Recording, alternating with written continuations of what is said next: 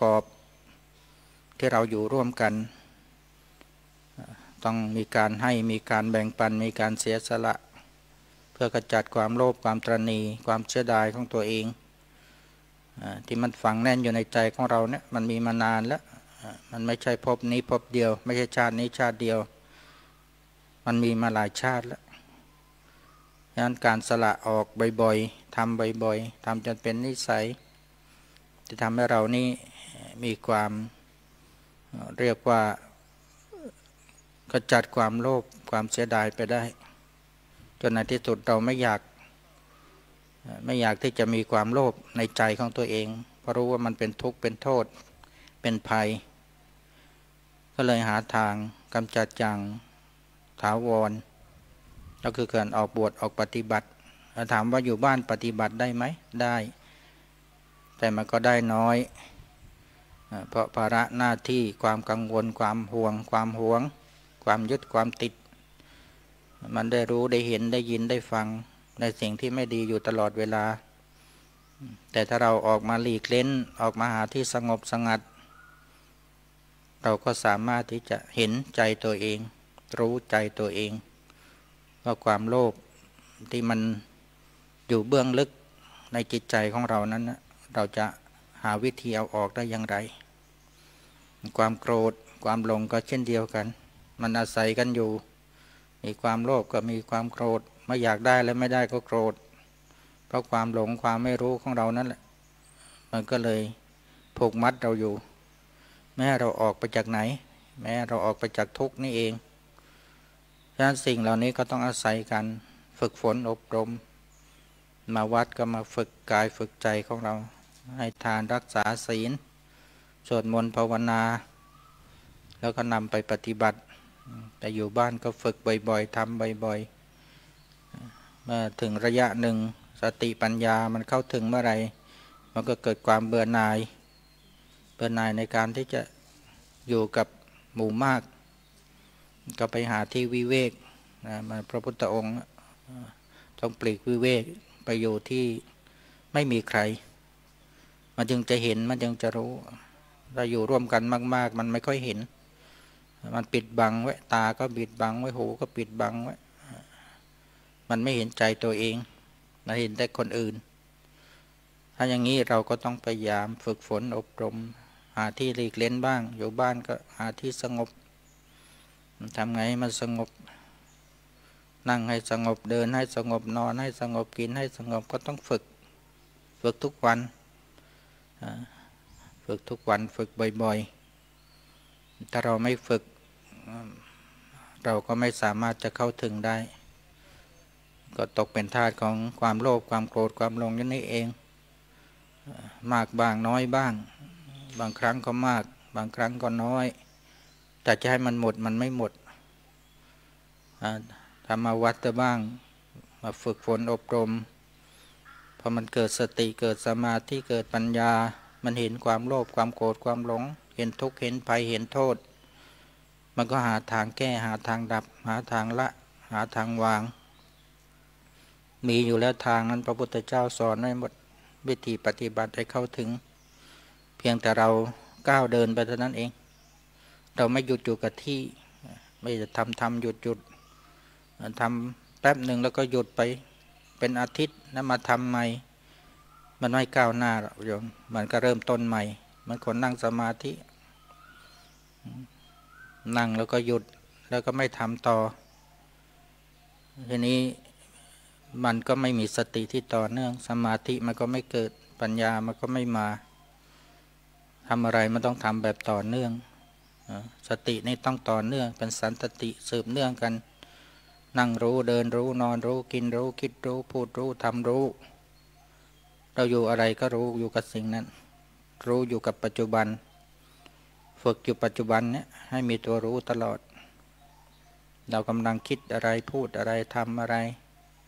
เราก็ฝึกฝนตนเองให้มีสติ ให้มันเพิ่มขึ้นให้มันมากขึ้น พอเรามีบ่อยๆทำบ่อยๆ สติมันก็เป็นมหาสติมหาแปลว่าใหญ่มีสติที่ใหญ่ ใหญ่ก็คือรู้หมด คิดก็รู้ พูดก็รู้ นั่งก็รู้ทำก็รู้ เดินก็รู้ กินก็รู้ นอนก็รู้ มันมีตัวรู้หมดเลยตอนนี้ อันนี้ก็ต้องฝึกเหมือนกัน ไม่ฝึกมันก็ไม่เกิดท่านบางคนก็มาวัดมาฝึกจริง แต่ก็ฝึกแล้วก็ไม่ได้เอาไปใช้ พอออกจากวัดไปก็ไม่ได้ทำไปอยู่บ้านก็ไม่มีเวลาบอกเวลาไม่มี ที่จริงมาทำได้ทุกเวลานั่งก็ทำได้ เดินก็ทำได้นอนก็ทำได้กินก็ทำได้ทำการงานก็ทำได้ทำปัจจุบันให้มันเกิดขึ้น ให้สติมันอยู่กับปัจจุบันเอาจิตของเรามาไว้กับปัจจุบัน ควบคุมจิตตัวเอง ไม่ให้วอกแวกวุ่นวายแสสายโยกโครงไปที่อื่น ฝึกไว้ทำบ่อยๆฝึกบ่อยๆเดี๋ยวมันก็เกิดความชำนิชำนาญในการคุมจิตตัวเอง สามารถคอนโทรลจิตตัวเอง ให้อยู่กับเนื้อกับตัวฉะนั้นสิ่งเหล่านี้ก็ต้องอาศัยการฝึกฝนอย่างต่อเนื่องนะกิเลสเนี่ยถ้าทำไม่จริงไม่จังมันไม่สามารถจะออกได้ถ้าทำหล่อๆเละๆกิเลสมันชอบ มันมันหลอกตลอดเวลากิเลสมันกลัวคนจริง คนไหนทำจริงคนไหนไม่กลัวเจ็บกลัวปวดกลัว ตายคนนั้นสามารถเอาชนะกิเลสได้คนนั้นยังกลัวอยู่ คนนั้นไม่สามารถเอาชนะกิเลสได้ฉะนั้นเราไปดูแม้แต่องค์สมเด็จพระสัมมาสัมพุทธเจ้าพระองค์ก็ปฏิบัติจริงยอมตายนะถ้าไม่ตัดสรู้พระองค์ก็จะไม่ลุกไปที่ไหน จะนั่งอยู่ตรงนั้นที่เดียว ในวันที่พระองค์อธิษฐานจิตของตัวเอง ทางจิตอธิษฐานว่า เรานั่งอยู่โคนโพเนี่ยเราจะไม่ลุกไปไหนเลย แม้จะเหลือแต่โครงร่างโครงกระดูกแม้จะหมดลมก็ตามถ้าไม่บรรลุอนุตตรสัมมาสัมโพธิญาณไม่ได้เป็นพระพุทธเจ้าเราจะไม่ลุกไปไหนพรงนั่งตลอดคืน จนปัจฉิมยามยามสุดท้ายพระองค์สามารถกำจัดกิเลสความโลภความโกรธความหลงโดยเส้นเชิง นั่งตั้งแต่หัวค่ำ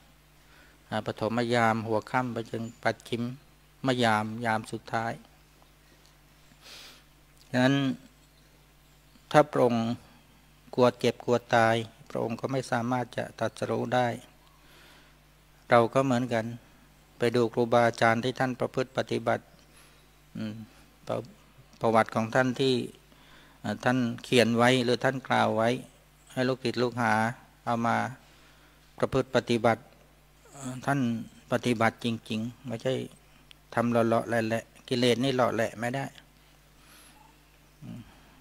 มันไม่ยอม ไม่ยอมเชื่อฟังเราง่ายๆเอาจริงเอาจังกับมัน แต่คนทั่วไปแล้วไม่ก็ได้ต่อเนื่องทำไม่ต่อเนื่อง สติก็ไม่ต่อเนื่อง สมาธิก็ไม่ต่อเนื่อง จึงไม่สามารถกำจัดกิเลสได้ มันแค่ยับยั้งไว้ได้ชั่วพักชั่วครู่ เมื่อเรามีสมาธิพอเราออกจากสมาธิกิเลสมันก็มาอีกความโลภก็เต็ม ความโกรธก็เต็ม ความหลงก็ ไม่สามารถขจัดออกไปได้นอกจากว่าเราจะเอาจริงเอาจังทำต่อเนื่องจนกิเลสมันไม่สามารถเข้ามาได้ เข้ามาครอบงำใจของเราได้นั่นเองเพราะเรามีตัวรู้มีสติ ควบคุมอยู่ กิเลสเข้าไม่ได้ มีสมาธิใจที่ตั้งมั่นหนักแน่น ไม่วอกแวก ตาเห็นรูปก็ไม่วอกแวกหูได้ยินเสียงก็ไม่วอกแวก ไม่ทำให้เราบันไหวนั่นเอง ใจนิ่งใจเฉยใจสงบ เราต้องฝึกไว้ ถ้าเราไม่ฝึกมันก็ไม่สามารถจะทำลายกิเลส ตัณหาอุปาทานที่มันเหนียวแน่นมั่นคง ฉะนั้นสิ่งเหล่านี้ต้องอาศัยการสร้างบารมีทานบารมีศีลบารมีเนคขมมะปัญญา เนคขมมะคือการออกบวชออกปฏิบัติบ้างเป็นครั้งเป็นคราว ออกจากบ้านจากเรือน ถ้าเราอยู่บ้านอยู่เรือนแล้วเราไม่สามารถจะทำอะไรได้กิเลสตัณหามันมาก ความยึดความติดความห่วงความห่วงมันเยอะแยะมากมาย ลูกหลานญาติพี่น้องสามีภรรยา ทรัพย์สมบัติ มันห่วงมันมันคล้องเราไว้ มันผูกเราไว้ มันรัดเราไว้ ไม่ให้เราออกมา เราต้องสลัดมันออกมาบ้างให้โจพักโจครูโจครั้งโจคราวก็ยังดีต่อไปต่อไปก็ฝึกออกบ่อยๆทำบ่อยๆนะบางคนนี่ออกไม่ได้เลย จนสุดท้ายก็ไม่สามารถจะไปไหนได้ถูกกิเลสร้อยรัดทำให้ตัวเองนี่อยู่กับความวุ่นวาย โลภโกรธหลงเต็มไปหมด เมื่อเป็นเช่นนี้เราก็ไม่สามารถที่จะกำจัดทุกข์ได้เลย เรามีของดีพุทธศาสนาเนี่ยคำสอนของพระผู้มีพระภาคเจ้าเนี่ยเป็นธรรมที่กำจัดทุกข์นั่นเอง ระองค์ตรัสรู้มาก็ต้องการขนสัตว์นี้ออกจากทุกข์ แล้วก็มากล่าวมาสอน มาแนะนำวิธีปฏิบัติว่าทำอย่างไรจะออกจากทุกข์นี้ได้ รู้ทุกข์เห็นทุกข์ แล้วก็หาทางดับทุกข์ แล้วก็ปฏิบัติไปสู่ความดับทุกข์นะมักที่พระเจ้าสอนนะมีองค์แปดเป็นทางสายกลางทางสายเอก ทางที่จะนำตัวเองไปสู่พ้นทุกข์ความพ้นทุกข์ได้ อันนี้เราก็ต้องย้ำกันบ่อยๆ พูดกันบ่อยๆถ้าไม่พูดเราบางครั้งเราก็หันฟังแล้วก็ผ่านฟังแล้วก็เลยยิ่งสมัยนี้เห็นไหมมันโอ้โหกิเลสมันเหนียวแน่นมาก มีแต่เพิ่มขึ้นทุกวันเห็นอะไรก็มีความอยากไปหมด อยากมีอยากเป็นอยากเห็นอยากได้ มันดับไม่ได้เลย เห็นอะไรก็ไม่เคยดับได้เลย ตาเห็นรูปก็อยาก หูได้ยินเสียงก็อยาก มีความอยากเต็มไปหมด เนี่ย พออยากก็มีการยื้อแย่งแข่งขันกัน เอาเป็นเอาตาย เบียดเบียนกันทะเลาะกัน ผลสุดท้ายก็นำมาซึ่งความเดือดร้อนวุ่นวาย เกิดจากความโลภความโกรธความหลงนี่เอง จริงถ้าเรามีของดีอย่างที่พระเจ้าทรงสอนเนี่ยนำไปคิดพิจารณาดูว่าเราจะโลภกันไปทำไม โลภแล้วเอาไปได้ไหม ตายแล้วเอาไปได้ไหม ไม่ได้ แล้วเราจะโลภกันทำไม เราจะมาเบียดเบียนกันทำไม แค่พอมีพอกินพออยู่ ใช้คุณธรรมสันโดษมักน้อยอยู่แล้วไม่เดือดร้อน และไม่ทำให้ใครเดือดร้อน ตัวเองก็ไม่เดือดร้อน คนอื่นก็ไม่ทำให้เขาเดือดร้อน ก็เท่านั้นเอง ถ้าทุกคนคิดได้อย่างนี้ ความสุขมันก็เกิดขึ้น ความเอื้อเฟื้อเผื่อแผ่ความมีเมตตา มีความสงสารเกิดขึ้น ทุกคนก็ต้องการความสุขกันทั้งนั้น เราก็ต้องการความสุข เขาก็ต้องการความสุข เราจะไปหยิบยื่นทุกข์ให้เขาทำไม ไปเบียดเบียนเขาทำไมเรามีทานก็มีศีล ศีลไม่เบียดเบียนกันด้วยกายด้วยวาจา บางคนมีแต่ทานอย่างเดียวศีลไม่มีมันไม่มีศีลก็เบียดเบียนกันด้วยกายด้วยวาจา ฉะนั้นทานศีลเนี่ยมันต้องอยู่ด้วยกัน มันทิ้งกันไม่ได้ทิ้งไปแล้วความสุขมันไม่สมบูรณ์ มันก็ทะเลาะเบาแวงเบียดเบียนกันด้วยกายด้วยวาจา เอารัดเอาเปรียบกันในเป็นเช่นนี้สังคมก็อยู่ยาก จากสังคมก็สู่ครอบครัว คนเราไม่ได้อยู่คนเดียว มีครอบครัวมีสังคม จะต้องอยู่ร่วมกัน ถ้าต่างคนต่าง ไม่มีทานไม่มีศีลมันก็เบียดเบียนกันตลอดเวลา มันก็หาความสุขหาความเจริญไม่ได้ ประเทศไทยจึงไม่ค่อยเจริญ มันเจริญทางวัตถุพยายามวิ่งหาวัตถุกันแต่ไม่หาไม่หาหลักของความสุขอย่างแท้จริง วัตถุมันไม่ได้ช่วยมีความสุข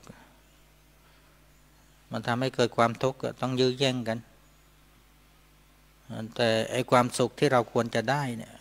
สุขจากด้านจิตใจ สุขจากความสงบเนี่ยเราไม่แสวงหากัน ไม่วิ่งหากัน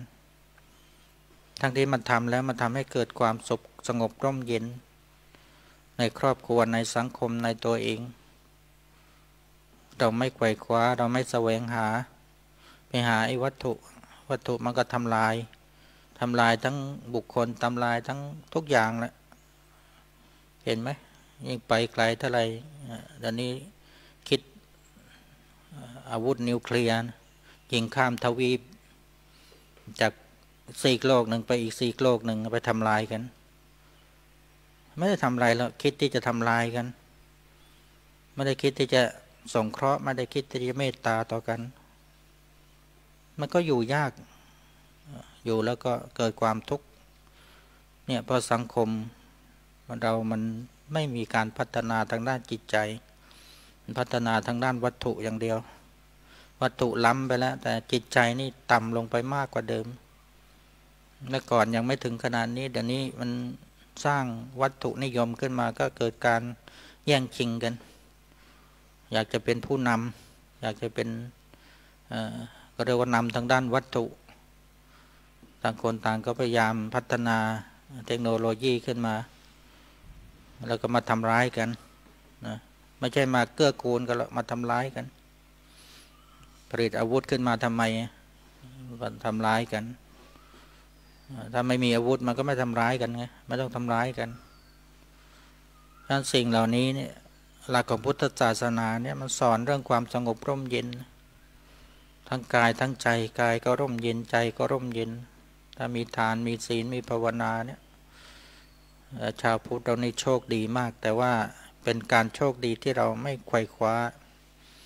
เรามีโชค มีบุญมีวาสนา มีบารมีกันทุกคนเกิดมาแล้ว เขาให้มาแล้ว ให้สติให้ปัญญามาแล้ว แต่เราไม่ไขว่คว้าไม่สร้างโอกาสให้ตัวเอง ไม่ไขว่คว้าหลักของพุทธศาสนา ความสุขที่แท้จริง ไปไขว่คว้าความสุขที่มันเจอไปด้วยทุกข์สุขที่เราร้อนได้มาแล้วก็เป็นทุกข์ตัวเองก็เป็นทุกข์คนอื่นก็เป็นทุกข์ตัวเองก็เดือดร้อนคนอื่นก็เดือดร้อน นั้นถ้าเป็นอย่างนี้แล้วมันหาความสุขไม่ได้หาความเจริญไม่ได้ก็น่าเสียดายเสียดายชาวพุทธเราที่เกิดมาแล้วมีของดีแล้วไม่ได้เอาไปใช้เลย ทานเป็นของดีศีลเป็นของดีภาวนาเป็นของดี แต่เราไม่ไม่เคยเอาไปใช้ ของดีนี่ไม่เคยใช้เลยยมน้อยคนที่จะเอามาใช้ไปใช้ของไม่ดีนะใช้ความโลภใช้ความโกรธใช้ความหลงเข้าหากัน เข็นฆ่ากันเบียดเบียนกันยื้อแย่งกันทำให้เกิดความทุกข์ทำให้เกิดความเดือดร้อนมากมายในสังคม มีข่าวทุกวันไม่เว้นแต่ละวันก็น่าสงสารจริง ๆ ว่าทำไม เรามีของดี แต่เราไม่ใช้ไม่เอามาใช้เลย ของดีก็หมดไป ไม่มีใครเอามาใช้ คนไหนใช้คนนั้นก็มีความสุข แต่มันใช้น้อยคนที่จะมีสติปัญญาเข้าไปใช้ เพราะว่าไม่ได้ฝึกฝนอบรม ไม่ทำกันบ่อยๆ พ่อแม่ก็ไม่ได้สอนลูกสอนหลาน เมื่อก่อนปุญาตายายก็เข้าวัดก็พาลูกพาหลานเข้าวัด เมื่อก่อนวันโกนวันพระก็หยุดทำงานกัน มาวัดกัน มาเข้าวัด ลูกหลานก็มาวัด มาถึงแม้ไม่ได้ทำอะไรก็มาได้เห็นได้รู้ปู่ย่าตายายพ่อแม่ก็พาเข้าวัด ลูกก็เข้ามาใหม่ๆก็เข้ามาโดยไม่ได้ศรัทธาแล้วเข้าไปเข้ามาก็ได้รู้ได้เห็นว่าวัดมันเป็นสถานที่เมื่อก่อนนี่อะไรก็เกิดจากวัดหมดหนังสือโรงเรียน การสอนก็เกิดจากวัดพระนำพระก็เรียนไปก็สอนไป สอนเด็กสอนนักเรียนให้มีศีลมีธรรม รู้จักฐานศีลภาวนาโยให้สร้างคนให้เป็นคนดีของสังคมไม่รู้จักกิริโอตปะ ความละอายความเกรงกลัวต่อบาป แต่ปัจจุบันนี้ไม่มีละแยกหมดเลยยอมแม้แต่อยู่ในวัดมีโรงเรียนอยู่ในวัดก็แยกไป วัดก็อยู่ส่วนวัด พระก็ ไม่มีบทบาทที่จะไปสอนนักเรียน มีครูเรียนมาโดยตรงมาสอนยิ่งไปเรียนมาจากเมืองนอกเมืองนา มีเทคโนโลยีเข้ามาก็เลย ไม่เห็นความสำคัญของทานของศีลวิชาศีลธรรมก็ค่อย ๆ หมดไป เมื่อก่อนมีเยอะสวดมนต์ตอนเช้าก็มีสวดมนต์ตอนเย็นก่อนจะเลิกก็สวดมนต์มีวิชาศีลธรรมให้ทุกวัน วันละวิชาวิชา เดี๋ยวนี้ไม่มีโยม หาไม่ได้ หมดคุณธรรมศีลธรรม จริยธรรมคนจึงไม่เกรงกลัวต่อบาป ไม่มีหิริ ไม่มีความละอาย ในที่รับในที่แจ้งข้าก็ไม่สนก็ทำได้หมด ไม่ได้ปลูกฝังจิตสำนึก ไม่เชื่อเรื่องบุญ ไม่เชื่อเรื่องบาป ไม่เชื่อเรื่องเวรเรื่องกรรม เชื่อแต่เทคโนโลยี เทคโนโลยีเท่านั้นที่จะล้ำสมัยนำสมัยตอนสุดท้ายก็ไปไม่รอด ต้องตายทุกคนเทคโนโลยีช่วยไม่ได้ ช่วยให้คนไม่ตายไม่ได้ คนทุกคนต้องตายเห็นไหมขนาดมีโควิดเนี่ยโควิด -19 เนี่ยเทคโนโลยียังช่วยไม่ได้เลย ขนาดฉีดยากันไปหลายโดสแล้วนะยังไม่ยังไม่กระเตื้องเลยโยม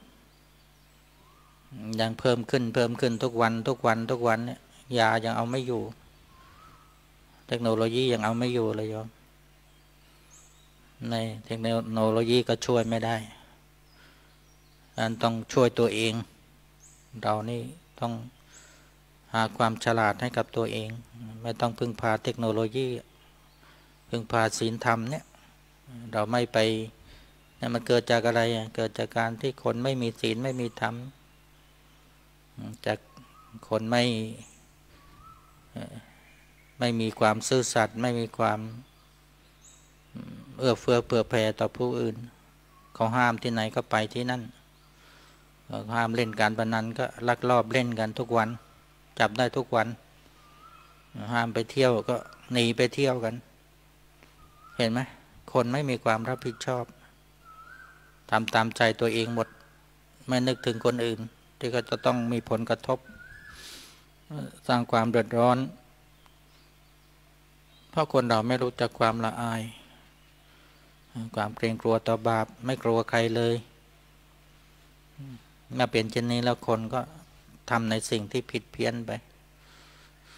สังคมก็อยู่ยาก คนก็อยู่อย่างยากอย่างลำบากขึ้นเรื่อยๆ แล้วไม่รู้เมื่อไหร่มันจะจบจะสิ้น โรคนี้หมดไปโรคอื่นก็มาอีก ตามยุคตามสมัยไป โรคมันก็พัฒนาตัวเอง วิวัฒนาการตัวเองพอมียามันก็ดื้อยา ต่อไปมันก็ดื้อยา พัฒนาสายพันธุ์ใหม่ ยาทำอะไรไม่ได้ฉะนั้นสิ่งเหล่านี้ก็เราก็ต้องมาเรียนรู้ หลักของความเป็นจริงว่าคนเราเกิดมาแก่มาเจ็บมาตายเอาอะไรไปไม่ได้ จะมาเบียดเบียนกันทำไม ไม่ต้องเบียดเบียนเขาก็ต้องตายอยู่แล้ว ไม่ฆ่าเขาก็ตาย คนเราไม่ต้องฆ่ากัน ถึงเวลาก็ตายอยู่ไม่ได้ หมดหมดอายุไข จะต้องมาฆ่ามาเบียดเบียนกันทำไม สู้กับเราช่วยกันดีกว่า อยู่ด้วยกันยังมีความสุขไม่เบียดเบียนกัน เดี๋ยวก็ต้องจากกันไปแล้ว ไม่ช้าไม่นาน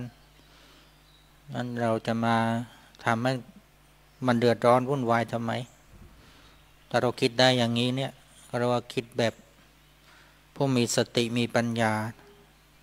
ไม่คิดจะเบียดเบียนใครแม้ แต่ตัวเองก็ไม่คิดจะเบียดเบียนให้เกิดความทุกข์ทำไมเรานั่งแล้วเป็นทุกข์เราก็เบียดเบียนตัวเองเพราะเราคิดไง ถ้าเราไม่คิดทุกข์มันก็ไม่เกิด มันเกิดจากความคิดของตัวเองอะทุกข์เนี่ยอดีตบ้างอนาคตบ้าง มันเข้ามาทุกข์มันจึงเกิด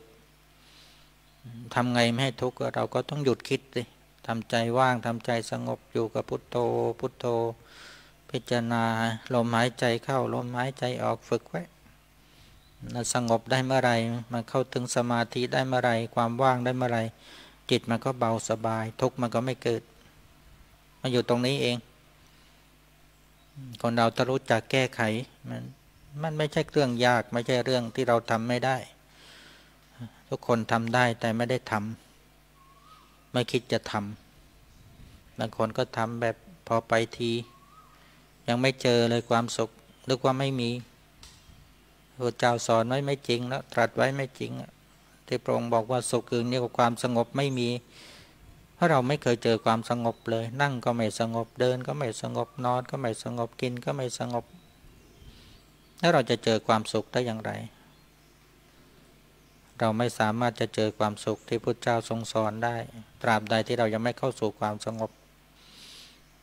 เราลองค้นหาความสงบให้มันเกิดขึ้นนั่งก็ให้สงบเดินก็ให้สงบนอนก็ให้สงบกินก็ให้สงบ มาทำได้หมดโยมไม่ใช่เราทำไม่ได้นนี้เราเป็นชาวบ้านชาวช่องทำไม่ได้ ที่จริงทำได้กรรมสงบนี่ทำได้เป็นพื้นฐานหมดมันสงบมากๆขึ้นก็มันก็ไม่ต้องการความวุ่นวาย ไม่ต้องการอยู่กับสังคมที่วุ่นวาย มันก็ออกมาหาความวิเวกกายก็วิเวกจิตก็วิเวก หาความสงบนั่นเอง อยู่บ้านมันไม่สงบ คนโน้นก็ทำคนนี้ก็ทำคนโน้นก็พูด คนนี้ก็พูด มันไม่สงบ เราก็เกิดความเบื่อหน่ายว่าไม่อยู่แล้วไม่สงบ เราไปหาที่สงบดีกว่า ก็ไปหาที่สงบวิเวกมีเยอะยอมตอนนี้ ยังช่วงโควิดนี่สงบมากเลย ความพลุกพล่านอะไรก็น้อยลง อันที่เพิ่มขึ้นมาก็คือฝุ่นนั่นเอง ฝุ่นละอองค่า PM เนี่ยสองจุดห้าเนี่ย สีแดงเต็มไปหมดยิ่งช่วงนี้อากาศปิด ลมไม่ผ่านไม่สามารถพัดฝุ่นละอองไปได้เขาเรียกลมมันนิ่ง ฝุ่นละอองก็กระจาย ไม่ไปไหนเลย วนเวียนอยู่เนี่ย อันตรายอย่างยิ่ง เราก็อยู่บ้านสบายสงบนะไม่ต้องไปหาฝุ่นละอองที่ไหน มาอยู่วัดสังฆทานก็ฝุ่นละอองก็มีน้อยมีต้นไม้คลองฝุ่นละอองไว้นะนั่งใต้ร่มไม้ก็เย็นสงบ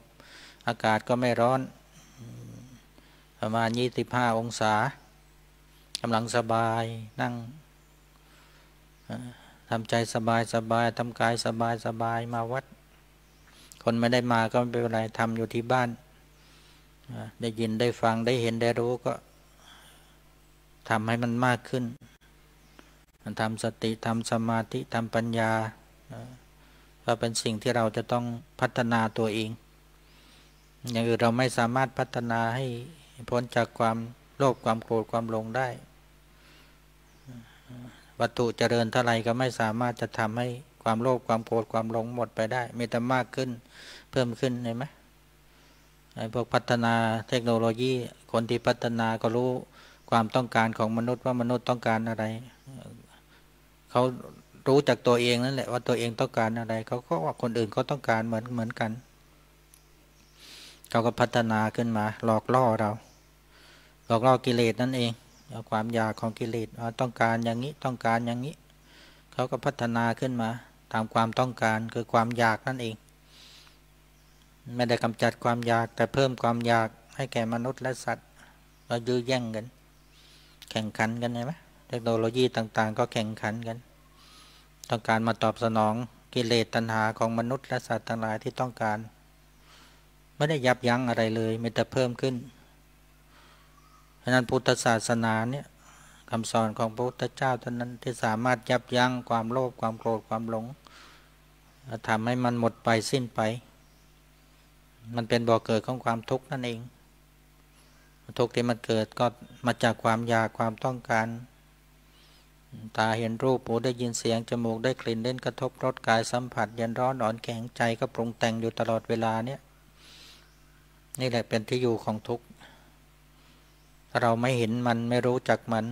ไม่สามารถถ่ายถอนความอยากของตัวเองได้ก็ไม่สามารถกำจัดความโลภความโกรธ ทุกข์ก็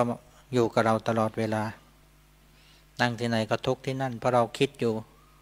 พอนั่งเราก็คิด แต่ถ้าเรานั่งเราไม่คิดนั่งแล้วปล่อยวางทำใจเฉยทำใจว่างทำใจสงบ มันก็มีความสุขนั่งที่ไหนก็มีความสุข เดินก็เหมือนกันไม่คิดอะไร เดินอยู่กับตัวเอง เท้าซ้ายยกอย่างไปเหยียบสัมผัสกำหนดรู้ อยู่กับตัวเองตลอดเวลา จิตไม่วอกแวกวุ่นวายเดินแบบสบาย เดินแบบแล้วก็เบากายก็เบาใจก็เบาแล้วเราเดินเป็นสมาธิ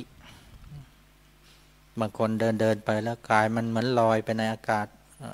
ได้สมาธิในการเดิน ที่จริงมันยังเดินอยู่ แต่มัน เหมือนกับไม่มีน้ำหนัก มันเบามันนุ่น เหมือนจะลอยไปบางคนต้อง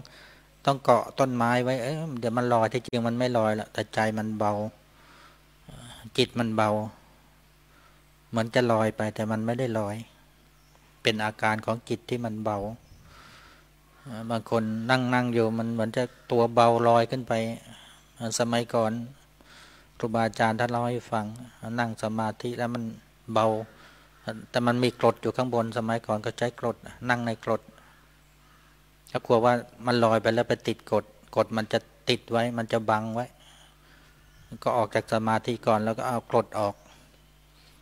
มานั่งแล้วก็เบาที่จริงมันไม่ได้ลอยหรอกแต่ไอ้ความรู้สึกว่ามันเบา มันก็ลอยไปในอากาศ แต่มันไม่ได้ลอย ร่างกายไม่ได้ลอยไป แต่จิตมันเบา มันก็ร่างกายนี้ไม่มีไม่มีอะไรยึดติดไว้มันเบาไปหมด กายก็เบาใจก็เบา ความเบามันเป็นอย่างนี้เดินก็เหมือนกัน ได้สมาธิก็เหมือนมันลอยไป เหมือนเราไม่ติดพื้น มันลอยไปในอากาศ เดินเบาไปเลย มันนุ่นที่มันลอยไป ไม่มีอะไรหนักเลย ส่วนไหนก็ไม่มีหนัก นั่นแหละเป็นอาการของสมาธิที่มันได้มาทำอะไรแล้วมันเบาหมด กายก็เบาใจก็เบาสบายไม่มีอะไรเข้ามาทำให้วุ่นวายงั้นเราก็ต้องฝึกบ่อยๆทำบ่อยๆ วันนี้ไม่เกิดไม่เป็นไรทำไปบ่อยๆเดี๋ยวมันก็เกิดขึ้นมาเองถ้าสติมันสมบูรณ์เมื่อไรสมาธิมันก็เกิดขึ้นมานั้นแต่ถ้ามันไม่สมบูรณ์เราอยากจะสงบมันก็ไม่สงบ อย่าไปอย่าไปอยากนั่งแล้วอย่าไปอยาก มันจะสงบก็เป็นหน้าที่ของมัน มันไม่สงบก็เป็นหน้าที่ของมัน เรามีหน้าที่รู้ มันจะสงบไม่สงบนั้น ไม่ใช่เรื่องของเรา เรื่องของเราทำให้มันรู้ไว้มันรู้มากขึ้นมากขึ้น เดี๋ยวมันก็สงบเองพอสติมันสมบูรณ์เมื่อไรสมาธิมันเกิดขึ้นเอง เราไม่ต้องไปทำอะไร แต่เราถ้าเราอยากให้มันสงบมันไม่สงบหรอกนั่งแล้วให้สงบมันไม่สงบ ถ้าเราอยากแล้วความอยากมันจะไปสกัดกั้นไว้ เป็นนิวรณ์มันไม่สามารถเข้าไปสู่ความสงบได้ ต้องปล่อยทำจิตให้ว่างทำจิตให้สบาย อย่าไปอยากนั่งแล้วสงบทันที ไม่ต้องไปทำอะไรแต่ถ้ามันไม่สมบูรณ์อยากเท่าไหร่มันก็ไม่สงบทำไมมันไม่สงบนะ นั่งก็ไม่สงบเดินก็ไม่สงบนอนก็ไม่สงบกินก็ไม่สงบ เพราะสติมันไม่สมบูรณ์พอสติไม่สมบูรณ์เราไปบังคับทีนี้มันเครียด จิตมันเครียด นั่นเป็นการบังคับจิตตัวเอง มันไม่สงบแล้วตอนนี้มันเกิดความเครียดแล้วถ้าอย่างนั้นแล้วผิดทางไม่ใช่ทางสมาธิทำไปทำไปเกิดอาการเครียด บางคนเครียดนะกลายเป็นคนควบคุมไม่ได้ ก็เรียกว่ามันเตลิดเลยที่เขาเรียกบางคนก็เรียกว่าอะไรอะสติแตกแต่จริงมันไม่ใช่อะสติไม่มีแตก ยิ่งทำมันยิ่งมายิ่งมีทำผิดทาง ไปบังคับมัน ไปขู่มันทำให้เกิดอาการเครียดของจิตประจิตมันเครียดมาก ๆ มันก็กระเจิงกระจาย มันไม่สามารถควบคุมได้เราทำแบบสบายๆจะสงบก็รู้ไม่สงบก็รู้ หน้าที่ของมันหน้าที่ของเราคือตัวรู้ มันสงบก็เรื่องของมัน ไม่สงบก็เรื่องของมัน เราก็รู้มันไป รู้บ่อยเข้าบ่อยเข้าไอ้ตัวไม่สงบมันก็ค่อยๆหายไปหายไปไอ้ตัวสงบมันก็เข้ามาแทนเข้ามา มันเป็นไปตามวาระโอกาสของสติเขาเรียกว่าอัตโนมัติ มันจะมาโดยอัตโนมัติจะไปทำให้มันมามันไม่มา นอกจากคนที่ทำจนชิน ฝึกจนชินก็เรียกเป็นวสีเข้าออกจนชำนาญแล้วอย่างนั้นสั่งได้ สั่งให้สงบเมื่อไรก็ได้ นั่งปุ๊บสงบปับ๊บเดินปุ๊บสงบปับ๊บทำได้หมดเลย นั่นก็ทำจนชำนาญเขาชำนาญทุกอริยบทนั่งก็ทำเดินนอนก็ทำกินก็ทำทำอะไรก็ทำให้มันสงบหลับตาลืมตา หลับตาก็สงบได้ ลืมตาก็สงบได้ ก็ทำจนชำนาญทุกอริยบท นั่นก็เรียกว่าทำจนเป็นวสีผู้ที่ฝึกอย่างนั้นแล้วก็เรียกว่าเป็นผู้ช่ำชองชำนาญ ในการเข้าออกของสมาธิเขาทำทุกวันทำจนชำนาญ มันคนฝึกพูดฝึกทำฝึกอะไรจนชำนาญหลับตาก็พูดได้ลืมตาก็พูดได้เดิน ก็พูดได้นอนก็พูดได้ทำอะไรก็พูดได้ทำได้หมดเขาก็ทำทุกอย่างทำทุกเวลาสมาธิก็เหมือนกัน คนที่ทำได้ทุกอริยบทนั้นหมายถึงว่าเขาทำจนชำนาญเขาฝึกนั่งจนสงบ ฝึกยืนจนสงบ หลับตาสงบ ลืมตาสงบกิน สงบนอนสงบทำไรก็สงบ เขาฝึกจนมันเกิดความสงบได้ทุกที่ อันนั้นเรียกว่าชำนาญบางคนไม่ชำนาญนี่ได้แต่นั่งอย่างเดียว นั่งจึงจะสงบไปทำอย่างอื่นไม่สงบนั่นแหละ เราต้องฝึกให้สงบทุกทางทุกที่ทุกโอกาส ไม่ใช่นั่งอย่างเดียว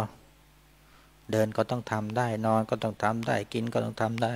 ทำความสงบให้เกิดขึ้นได้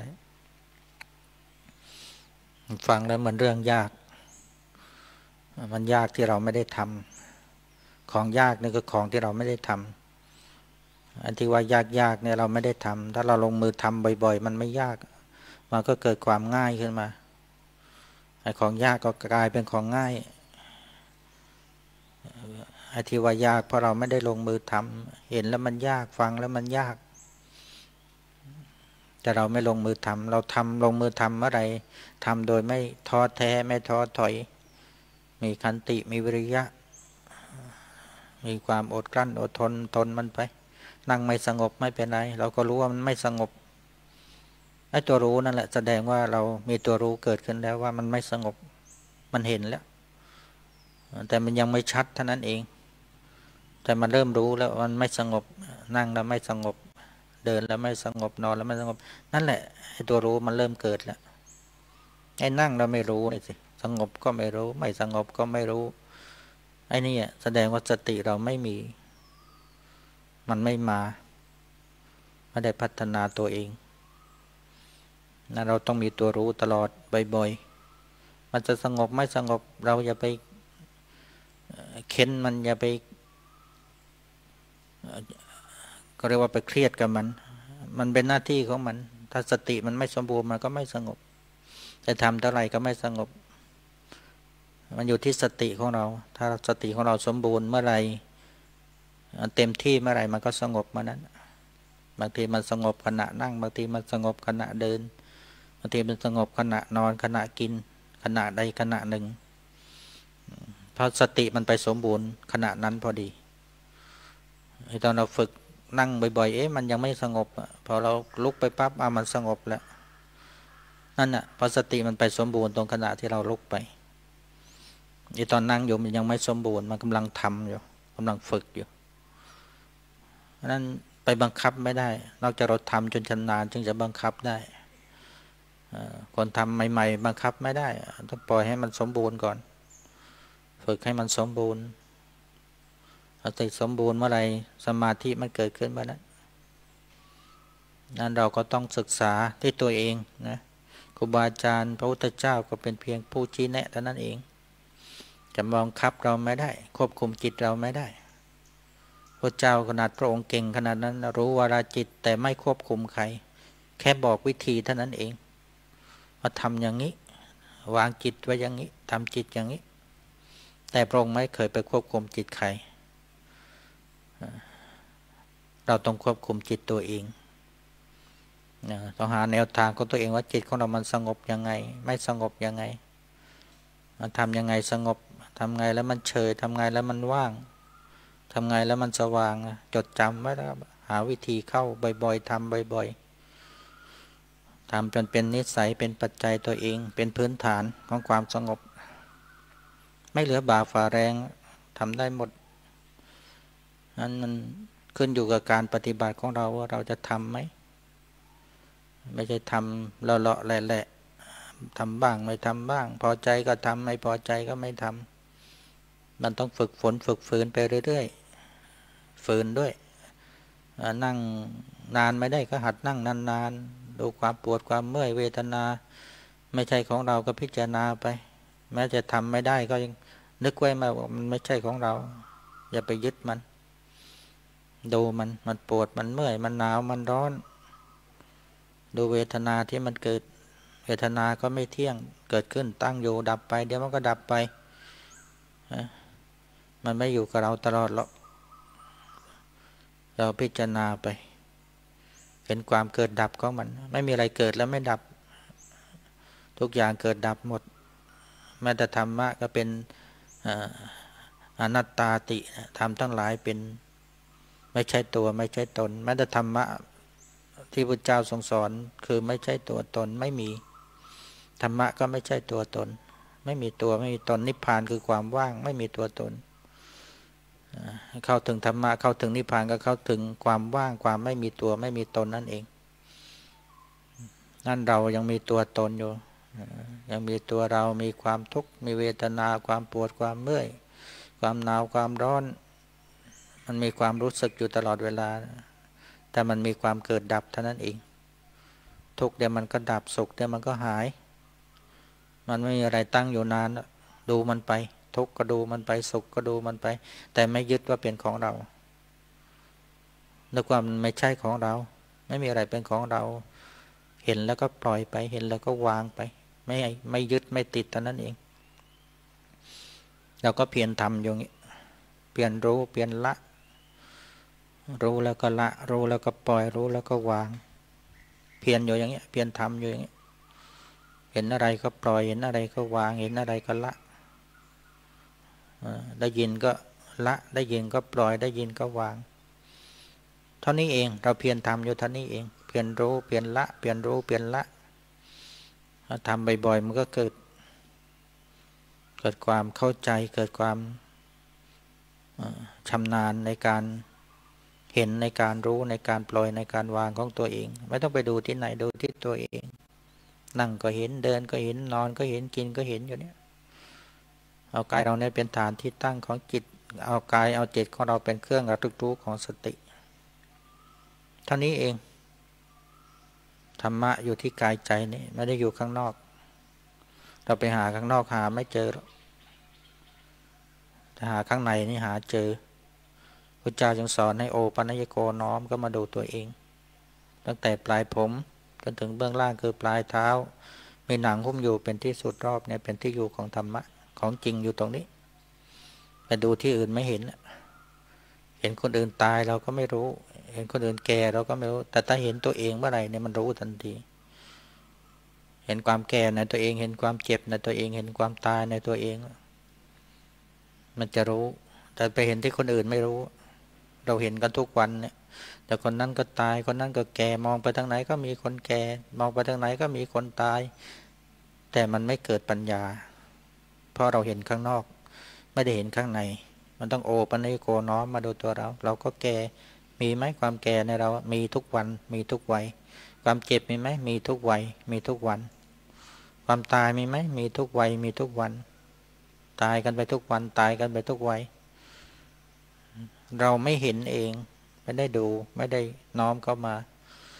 เราไม่เห็นของจริง เราเห็นแต่ของหลอกข้างนอกนั้นหลอกหมดเลย ข้างในนี่ของจริงหมดในกายในใจอาการตามที่สองเราเนี่ยผมขนเล็บฟันหนังเป็นต้นในสิ่งของปฏิกูลของเน่าของเปื่อยของบุบสลายของที่มันกลายเป็นธาตุดินน้ำลมไฟหมดเลย อยู่ข้างในเราหมดกันห้าเนี่ยนี่คือของจริง เราต้องเพียรดูเพียรรู้ เมื่อเรามีสติมีสมาธิที่สมบูรณ์ก็เพียรมาดูตัวเองเห็นตัวเอง เห็นความเกิดเห็นความแก่เห็นความเจ็บเห็นความตายเห็นของปฏิกูล เห็นอนิจจังทุกขังอนัตตาไม่ใช่ของเราไม่มีอะไรเป็นของเรามีแต่การเกิดขึ้นตั้งอยู่ดับไป เป็นธรรมชาติ ดินน้ำลมไฟ ทุกคนเป็นอย่างนั้นหมดเหมือนกันหมดสภาพเดียวกันต้นไม้ใบหญ้า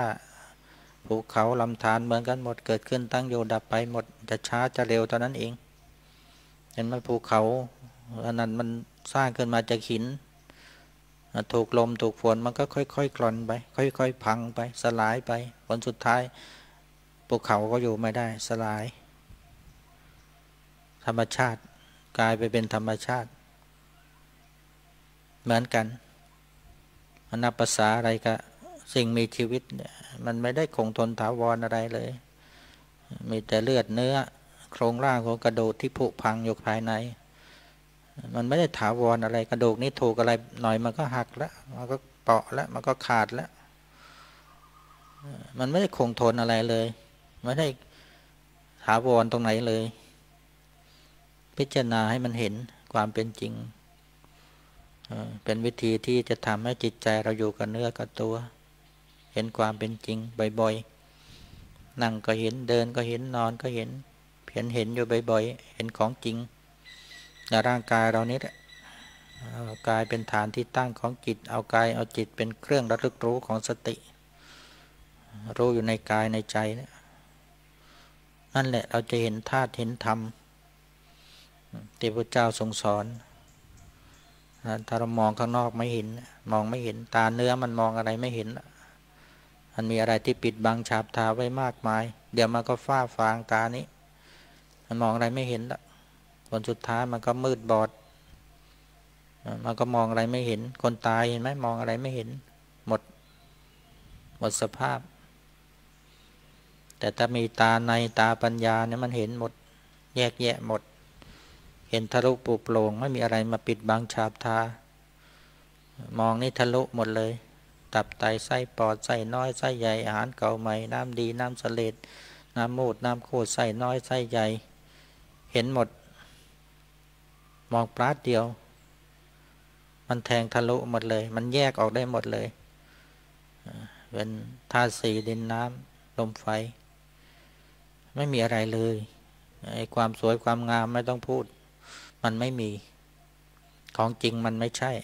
มันถูกฉาบทาไว้ ถูกปรุงแต่งขึ้นมา ฉาบทาเอาไว้ ด้วยกิเลสตัณหา ของมนุษย์และสัตว์ทั้งหลายนี่เองนั้นตาปัญญาที่พระเจ้าสร้างให้พวกเราเนี่ย ให้เราพิจารณาเนี่ยไม่ไม่มีอะไรมาฟังกั้นได้ มันมองแล้วจะเห็นความเป็นจริงของชีวิตว่าชีวิตเราไม่มีอะไร เกิดมาก็มาแก่มาเจ็บมาตายมาจากกันก็เรากำลังเดินไปสู่ความแก่ความเจ็บความตายกันทุกคน หนีเท่าไรก็หนีไม่พ้น ยิ่งหนียิ่งใกล้ ยิ่งเดินเข้าไปใกล้มัน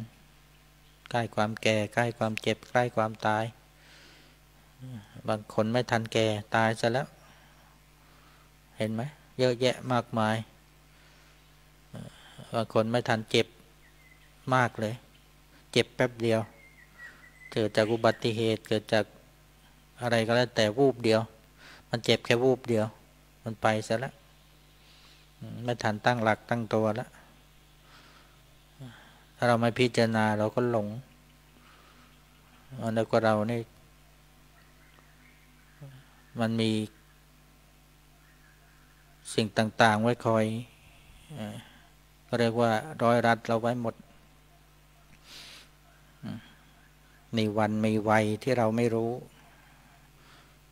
วันที่เราไม่รู้ เรานึกว่าวันนี้เราอยู่ได้พรุ่งนี้เราก็ต้องอยู่ได้ มันไม่ใช่ วันและวัยนี้ไม่ไม่สามารถที่จะเป็นข้อกำหนดว่าเราจะต้องอยู่ได้ มันกลืนกินเราไปทุกวันทุกวัยการเวลาเนี่ย เราเป็นยักษ์ยักษ์แห่งการเวลา มันเกินกินชีวิตมนุษย์และสัตว์ทั้งหลายไปทุกวันไปทุกวัยไปทุกเวลา มันไม่เคยหยุดเลย เดี๋ยวนาที เดี๋ยวชั่วโมง เดี๋ยววัน เดี๋ยวเดือน เดี๋ยวปีกินเราให้หมดไปหมดไป มันไม่เคยปราณีใครอันเราต้องพิจารณาให้มันเกิดสติเกิดปัญญาว่าเราเกิดมาเพื่ออะไร เราต้องการอะไรในชีวิตนี้ต้องการความสุขความสุขที่แท้จริงอยู่ที่ไหน เราก็ค้นหาให้เจอ ไม่ใช่สุขจากเงินจากทอง จากยศจาก การมีทรัพย์สมบัติ มันไม่ใช่ นั่นเป็นสุขที่ไม่ถาวรไม่จีรัง มันมีการเสื่อม มียศก็เสื่อมยศ มีลาบก็เสื่อมลาบ มันของคู่กัน มันของคู่โลกนี้ มันอยู่ในโลกนี้มานานแล้ว ไม่มีใครเป็นเจ้าของไม่เห็นไหมแล้วพอตายไป มันก็หมดโอกาสแล้ว มันข้าราชการก็หกสิบเขาก็ปลดแล้ว เคยมียศเคยมีตำแหน่งหกสิบเขาก็ปลดระวางปลดโอกาสแล้ว เหมือนกัน ชีวิตของเราก็ถูกปลดไปเหมือนกันไม่มียศไม่มีตำแหน่งความเป็นพ่อก็ถูกปลดไปด้วยความตาย แม่ก็ตาย ลูกก็ตาย หลานก็ตาย สามีก็ตาย ภรรยาก็ตายตายหมด ไม่มีใคร หลงเหลืออยู่เลย ทุกคนก็ยังมาไกวคว้ามาวิ่งหากัน ของที่มันไม่มีไม่มีประโยชน์อันใดเลยนะสิ่งที่มีประโยชน์ก็คือ การที่เรามาฝึกให้เกิดสติเกิดปัญญาเกิดศรัทธา เข้าไปหาความดับทุกข์นั่นเอง ดับความโลภดับความโกรธดับความหลง ดับการเกิดการแก่การเจ็บการตาย นี่เป็นวิธีทางที่เรามี บุญวาสนาบารมีได้พบพุทธศาสนาฉะนั้นทุกคนจึงว่าเป็นคนที่มีมีโชค มีวาสนา มีบารมีที่เกิดมาได้พบพุทธศาสนา มีคำสอนของสมเด็จพระสัมมาสัมพุทธเจ้า ให้เราได้ฝึกฝนอบรม ประพฤติปฏิบัติหาแนวทางดับทุกข์กันงานวันนี้ตมาก็ขออนุโมทนาบุญกับทุกท่านทุกคนที่ได้มาร่วมกันสร้างบุญกุศลเนื่องในวันหยุด ไม่ว่าจะเป็นการถวายทาน สมาทานศีลฟังธรรมปฏิบัติธรรมกับความนาจบุญบารมีที่ญาติโยมได้สร้างสะสมเป็นเหตุเป็นปัจจัยเป็นนิสัยนำพาให้ทุกท่านทุกคนมีความสุขมีความเจริญ คิดสิ่งใดหวังสิ่งใดที่เป็นไปโดยชอบธรรมไม่ผิดศีลไม่ผิดธรรมก็ขอให้ความคิดนั้นจงสำเร็จผลหวังความสุขก็ขอได้ความสุขหวังความพ้นทุกข์ก็ขอให้ทุกท่านทุกคนมีสติมีสมาธิมีปัญญา มีศรัทธาเข้าถึงซึ่งความพ้นทุกข์โดยทั่วถึงกันทุกท่านทุกคนเทินสาธุ สาธุ สาธุ อนุโมทามิกับการแสดงพระธรรมเทศนาเมตตาโดยหลวงพ่อเสน่ห์เขมกาโม ครูบาอาจารย์วัดสังฆทานตำบลบางไผ่อำเภอเมือง จังหวัดนนทบุรีในช่วงนี้ก็จบลงนะครับ กับทุกท่านก็คงจะได้ประโยชน์จากการฟังธรรม แล้วก็นำธรรมะของหลวงพ่อไปเป็นแนวทางปฏิบัติในการดำเนินชีวิตประจำวันตามหลักพุทธศาสนาต่อไปนะครับ กับลำดับต่อไปเดี๋ยวจะเราจะได้มาเก่าคำถวายท่านที่มีเครื่องสังฆทานแต่จะทำนะครับกับก็ขอเชิญทุกท่านตั้งนโมขึ้นพร้อมกันก่อนนะครับ นะโมตัสสะภะคะวะโตอะระหะโตสัมมาสัมพุทธัสสะนะโมตัสสะภะคะวะโตอะระหะโตสัมมาสัมพุทธัสสะนะโมตัสสะภะคะวะโตอะระหะโตสัมมาสัมพุทธัสสะสุทินังวัตเมธานัง อาสวะขยาวหัง สุขังโหนตุทุติยามปีสุทินังวัตเมธานังอาสวะขยาวหัง สุขังโหนตุตติยามปีสุทินังวัตเมธานัง อาสวะขยาวหัง นิพพานังโหตุสาธุกับเชิญนะครับ ท่านที่มีเครื่องสังฆทานเทธรรมก็นำมาถวายแด่หลวงพ่อได้เลยนะครับ ครับขอเชิญนะครับ ท่านที่อยู่ด้านนอกก็เหมือนกันนะครับ ท่านที่มีเครื่องเทธรรมก็นำถวายแด่หลวงพ่อได้ที่ใดลานธรรมนี้ได้นะครับ ครับสำหรับวันนี้นะครับวันเสาร์ในช่วงเวลาหลังจากที่ได้มีการสวดมนต์ทำวัดเย็นแล้วนะครับ ในเวลา 21นาฬิกาโดยประมาณก็จะมีการแสดงธรรม ซึ่งช่วง 21นาฬิกาก็ได้รับความเมตตาจากพระอาจารย์พุทธิพงศ์ทิติคุณโนนะครับ เมตตาให้กรรมฐานแล้วก็แสดงธรรม หลังจากนั้น 22นาฬิกา30นาทีโดยประมาณ พระอาจารย์ชาญชัยสิริวิชโย เมตตาแสดงธรรมนะครับ และ 24นาฬิกาถึงตลอดรุ่งนะครับ ก็ได้รับความเมตตาจากหลวงพ่อสามารถสมาธิโกนะครับพ่อแม่ครูบาอาจารย์วัดสังฆทานเมตตาแสดงธรรมนะครับ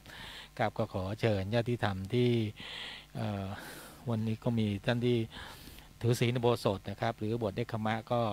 หรือญาติที่อยู่ทำที่อยู่ทางบ้านนะครับ เชิญร่วมฟังธรรมปฏิบัติธรรมกันนะครับ ค่ะขอ อนุโมทนาบุญกับทุกท่านนะคะ ที่ได้มีโอกาสได้สร้างบุญกุศลในวันนี้ค่ะ อนุโมทนาบุญกับคุณพวงทิพย์มิ่งโสดา และคุณประนมมิ่งโสดานะคะ จากบ้านใจยิ้มยติธรรมจากอำเภอบางบัวทอง จังหวัดนนทบุรีนะคะ ร่วมบุญถวายปัจจัยที่ลานธรรมนะคะ ซื้อรถบัส 10,000 บาทค่ะสาธุอนุโมทนาบุญกับท่านด้วยนะคะ ในการจัดซื้อรถบัสนั้นยังเปิดรับ ปัจจัยอย่างต่อเนื่องนะคะ ต่อไปหลวงพ่อจะบางสกุลและทุกท่านเตรียมตัวกดน้ำรับพรค่ะ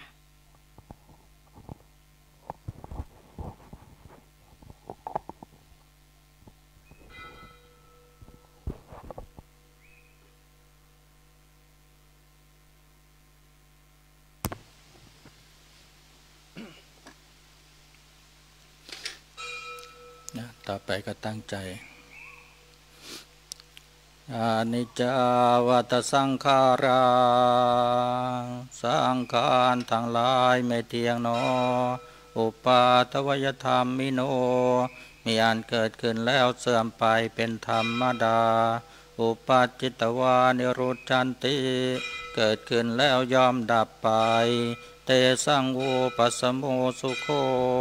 ความเข้าไประงับแห่งสังขารทั้งหลายเหล่านั้นเป็นสุสาขธุต่อไปตั้งใจรับพรยะทาวาริวหาปุราปริปุเรนติสาคารัง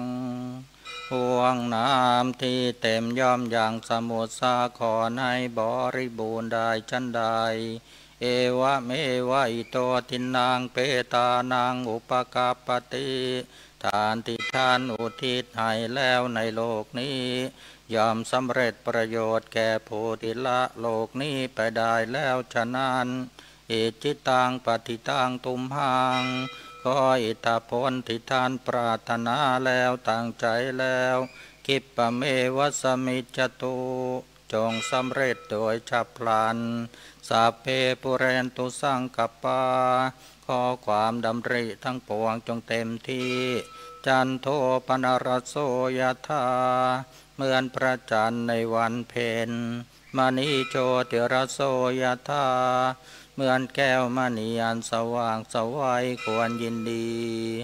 ใจยสิทธิตนางลาพัง ความชนะความสำเร็จทรัพย์และลาบโสที่พระกยังสุขังพลัง ความสวัสดีความมีโชคความโศกมีกำลังเตริอายุจะวันโนจะโพคังวุฒิจะยสวาเตริอายุวันนาโภคะ ความเจริญและความเป็นผู้มียศสัตวัสสาจะอายุจาและอายุยืนร้อยปีชีวสิทธิพวันตุเต ความสำเร็จกิจในความเป็นอยู่จงมีแก่ท่าน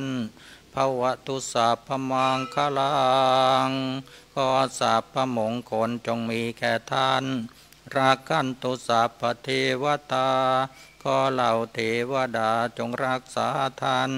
สัพพุทธานุภาเวนะด้วยอานุภาพแห่งพระพุทธเจ้า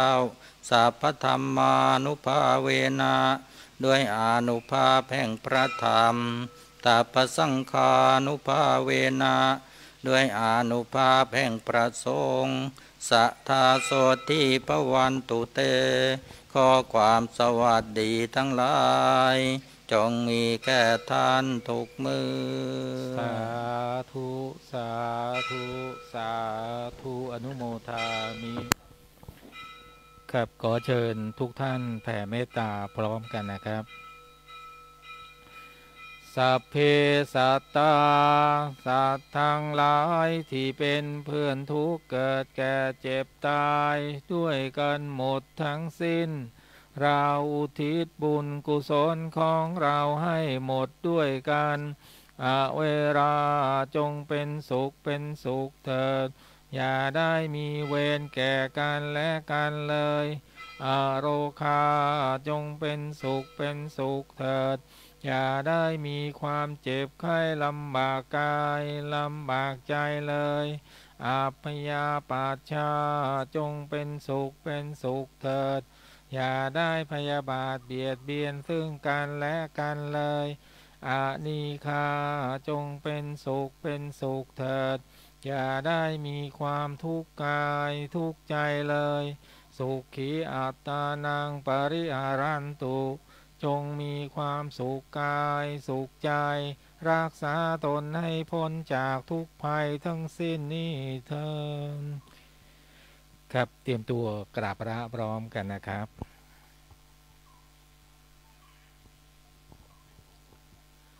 อะระหังสัมมาสัมพุทโธภะคะวา พระผู้มีพระภาคเจ้า เป็นพระอระหันต์ดับเพลิงกิเลสเพลิงทุกสิ้นเชิงตรัสรู้ชอบได้โดยพระองค์เอง พุทธังพระควันตังอภิวาเทมิข้าพระเจ้าอภิวาทพระผู้มีพระภาคเจ้า ผู้รู้ผู้ตื่นผู้เบิกบานกราบสวาคาโตภาคาวตาธรรมโม พระธรรมเป็นธรรมที่พระผู้มีพระภาคเจ้า ตรัสไว้ดีแล้วธรรมังนามาสามิข้าพระเจ้านมัสการพระธรรมกราสุปฏิปันโนภาคาวะโต สาวกสังโฆ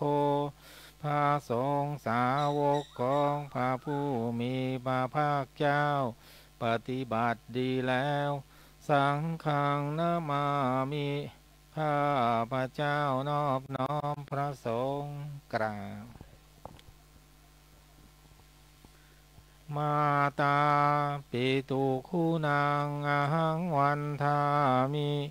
ข้าพระเจ้ากราบวันทา บิดามารดาผู้มีพระคุณโดยความเคารพกราบคารุอุปชายาจาริยาคุณังอาหังวันทามิข้าพระเจ้ากราบวันทา ครูอุปชาอาจารย์ผู้มีพระคุณโดยความเคารพกราบ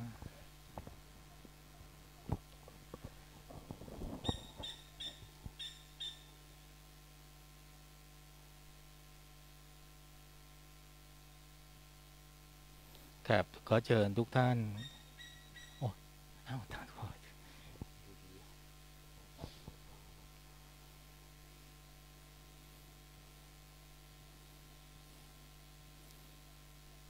ครับขอเชิญทุกท่านกราบพระพร้อมกันอีกสามครั้งนะครับ พร้อมแล้วกราบ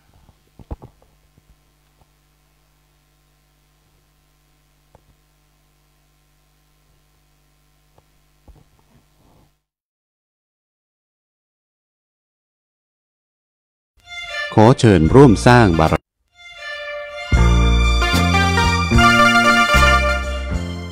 เติมเต็มทองคำบริสุทธิ์ ให้เต็มองค์ หลวงพ่อโต ขอเชิญร่วมบุญใหญ่พุ่มทองหลวงพ่อโต เติมเต็มทองคำบริสุทธิ์ ให้เต็มองค์หลวงพ่อโต ร่วมบุญได้ที่ ธนาคารไทยพาณิชย์ สาขาเดอะคริสตันราชพฤกษ์ บัญชีออมทรัพย์เลขที่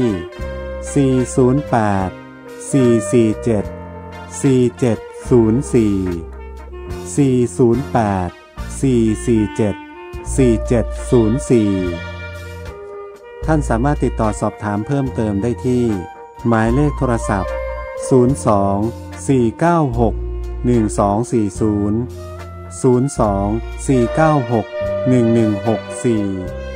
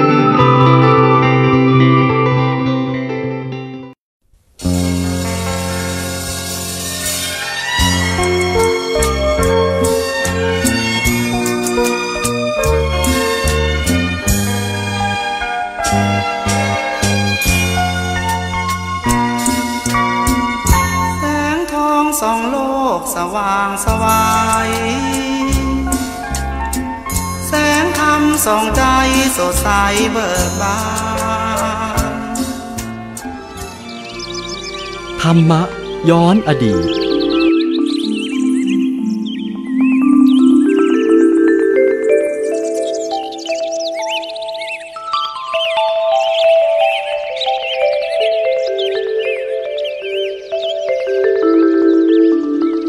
ต่อไปนี้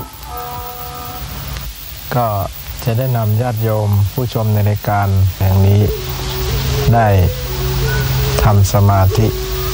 ปฏิบัติธรรม ปแบบ กรรมฐานในป่าช้า ซึ่งสถานที่นี้ เป็นป่าช้าป่ามุมแมลง ซึ่งเป็นที่สงบมีเวกใจได้ ที่จะนำพวกเราที่สนใจในเรื่องสมาธิได้กระทำสมาธิให้เกิดขึ้น การฝึกสมาธิก็เป็นอุบายหลาย ๆ อย่างที่พวกเราจะทำกัน กรรมฐานอุบายถึง 40 กว่าอย่าง สุดแท้แต่ครูบาอาจารย์องค์ใดจะแนะวิธีใด จะเป็นกสิบอสุภะสิบอนุสติสิบหรือพรมวิหารสี่หรืออาหารเรปฏิกูล หรือปัญจกรรมฐาน แล้วก็ สติปัฏฐานสี่เราจะภาวนาอย่างใดก็ได้สุดแต่ถูกจริตของผู้ปฏิบัติทำไมพระพุทธเจ้าพระองค์สอนทั้ง 40 อย่าง สอนตามจริตของผู้ เหมาะควรแก่กรรมฐาน สอนจนสามารถรู้แจ้งเห็นจริงในธรรมะคำสอนได้ เพราะถูกกระจริต สอน กรรมฐานของพุทธเจ้าที่สอนนั้นไม่ได้มีอย่างเดียว พุทธเจ้ามีอุบายมากมายถึง 40 กว่าอย่าง แต่สมัยนี้พระพุทธเจ้า พระองค์มองเห็นว่า อารมณ์กรรมฐานที่จะเหมาะกับบุคคลสมัยนี้ก็คือปัญจกรรมฐานกรรมฐานที่นึกออกง่ายๆที่ตัวของเราที่ใจของเรา ไม่ต้อง มองไกลตัวเอง แต่กรรมฐานที่ระลึกถึงความตายเป็นอารมณ์ ก็เป็นอุบายอย่างดีมาก ที่ทุกคนเรานี้เกิดมาแล้ว ก็หนีความตายไม่พ้น ที่เราจะนึกหรือไม่นึกสิ่งอันนี้ก็ปรากฏอยู่กับเรา แต่ถ้าเรานึกแล้วก็จะทำให้ใจของเรานี้มีความผ่องใสเบิกบาน มีความสุขสงบ คิดจะทำบุญกุศลให้มากขึ้น คิดจะสร้างบาปสร้างกรรมอะไรให้มาก เพราะเห็นว่า อารมณ์ฝ่ายดีนี้เป็นฝ่ายกุศล ที่ทำไปแล้วเกิดความสุขสงบกับตนเองเป็นงานเป็นการนำทุกข์ออกจากใจ เป็นการนำสุขให้เกิดขึ้นในใจ กรรมฐานด้วยการระลึกถึงความตายเป็นอารมณ์ในที่นี้ทำให้เราคิดได้ ตัดใจได้ตรงใจได้ นึกถึงความตายตลอดวันเท่าไรก็ยิ่งดี เพราะเราจะได้ไม่ประมาท คนที่โรคโมโทสัน ไม่ได้หันหน้าเข้าวัดปฏิบัติธรรมโดยมากก็กลัวความตาย ไม่เคยได้นึกถึงความตายบ่อยๆ การที่เราไม่ได้นึกถึงความตายนั้นทำให้เราประมาทมัวเมาลุ่มหลง ไม่หาความถูกต้อง ฉะนั้นวันนี้เรามาปฏิบัติ ทุดงกรรมฐานในป่าช้ากัน มาทำสมาธิระลึกถึงความตายบ่อยๆระลึกถึงความตายทุกลมให้ใจเข้าออกก็จะเป็นบุญกุศล ถือแต่เราจะระลึกได้วันละห้านาทีสิบนาทีก็ยังดีกับเราไม่ได้คิดนึกเลย ความตายนี่มีอยู่ที่ลมมากับลมลมถ้าลมไม่หายใจ หายใจเข้าไม่ออกก็ตาย หายใจออก ไม่เข้าก็ตาย ถ้านึกบ่อยๆเราก็จะเห็นว่ามันเป็นความจริง แต่ถ้าเราไม่นึกมันก็ไม่มีอะไรปรากฏ อันนี้จะแก้ความทุกข์ได้เวลาเจ็บไข้ได้ป่วยนี้ เคยแนะนำญาติโยม มีคนหนึ่งเคยเป็นโรคมะเร็ง